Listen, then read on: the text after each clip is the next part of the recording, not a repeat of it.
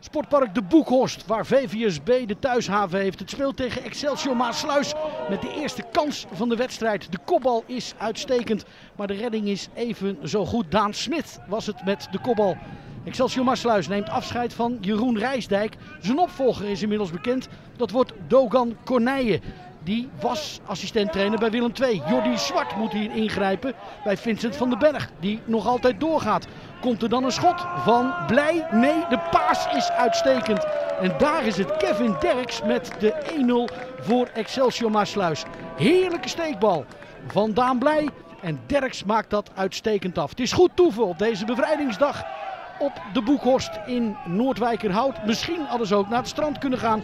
Maar men heeft ervoor gekozen om voetbal te kijken. En moet dan heel lang wachten op de andere treffers. Want hier is de 2-0. Die komt op naam van Jeremy Moreno. Al in blessuretijd weet hij zwart te verschalken. Gaat de bal achter de doelman Ruben Valk. En dan is het zowaar nog 2-0.